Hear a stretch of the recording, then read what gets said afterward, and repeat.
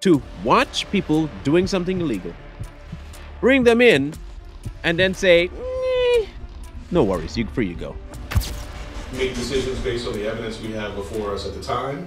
Our profound obligation is to make sure we have the right people charged with the right crime. They don't have to put the truth out there. They don't have to put reality out there. They can put whatever they want you to see. We have to start guessing one of two things. You really have somebody in your back pocket telling you what to do. Or, or you have plans to follow through with something far more nefarious. Stereotypes are, you know, funny sometimes, but sometimes they are uh, true. You know that old adage, all black people look the same, or white people can't cook. Well, I think I think they've started to put that on other people, and I'm sorry to say that for a long time we've been laughing at stuff together, even though it seems that we've been separated. But they're taking our one last bastion of unity away now. And why am I saying that? Well, first it was we need your vote. Okay, we don't need your vote no more. We got a replacement. We got a replace. There's always a replacement. Well, recently we talked about these immigrants in, uh, sorry, illegal immigrants in New York that beat up them cops and then they got released and they're free to go. Well, you know, the story just gets juicier. Apparently, apparently, allegedly, all them other A words, they were picked up in Arizona, Phoenix to be exact. Now, what I was mentioning before about the stereotypes, it's this story we're talking about. They were picked up in Arizona. Okay, sorry. Individuals were picked up in Arizona. I don't want to get myself in trouble. I'm trying to maintain my status as a, a, a legal person. Uh, they were picked up. Some men were picked up in in Arizona, Phoenix, that fit the bill of the ones that were involved in the incident in New York.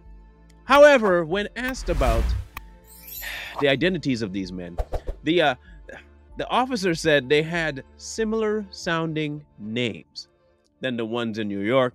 So we can't tell you that it's them. We can't confirm or deny. No pictures yet, but I'm going to go on a limb and say they're going to try to find pictures of similar looking individuals. Because, you know, all Mexicans look the same because all black people look the same and all white people look the same. It's comical, but it ain't really comical.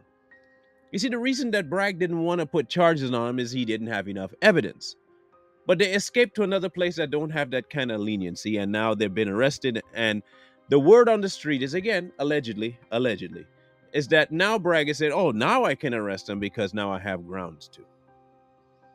I'm not quite sure how footage isn't grounds, but them getting arrested in another state is. While the video is shocking and disturbing, in order to secure convictions in a court of law, it is essential that we conclusively identify each defendant Could it be? Could it be that Bragg is trying to hide something about what he either told them, promised them, and now because they were picked up by another state who probably will not give the kind of leniency he gave, now he has to backtrack on his deal that he gave them? Could possibly be. Again, these are all alleged because they ain't coming forward to tell you nothing. And they won't tell you anything.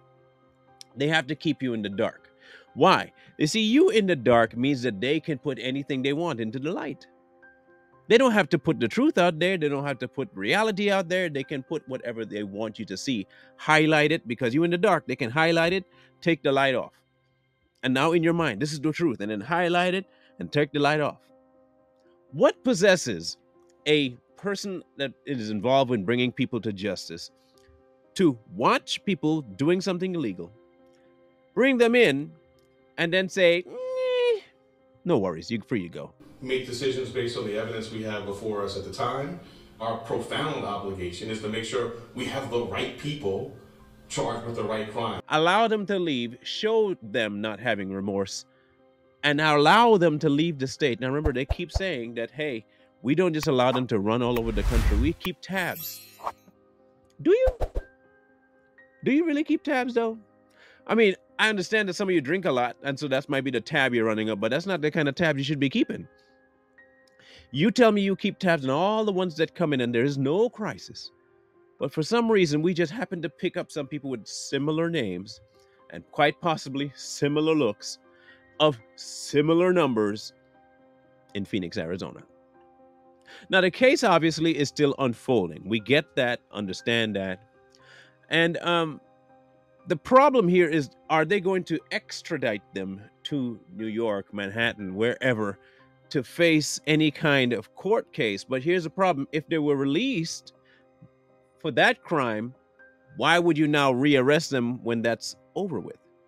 Now, I guess you could get them for jumping, but they never got bond, so they can't jump bond and they can't skip bail. So you really don't have any grounds. The only other reason I could see Bragg calling anybody back to New York is to cover his hide. That's the only reason. Now they were picked up, like I said, in um, uh, in Phoenix, Arizona. Uh, arrested Wednesday, arraigned Thursday on two counts of second degree assault and second degree obst- obstructing governmental administration. Now, when you get picked up like that, this is a this is a, the problem here. When you get picked up with cases like that, and then the attorney general says, "No problem here. Don't worry about it. You're fine. You're good to go. Don't worry. You're set." And another state picks you up for pretty much the same thing. We have to start guessing one of two things. You really have somebody in your back pocket telling you what to do, or or you have plans to follow through with something far more nefarious. Now, there are another cases going on that we will talk about that will kind of bear the truth to what we're talking about in this one because you'll see more and more of this happening as time goes on because we've been mentioning to you before that this great replacement thing is indeed real. And not only is it a replacement thing, it's how do I say this?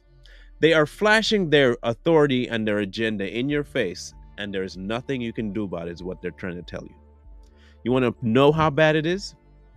We'll eventually tell you. Don't worry about that.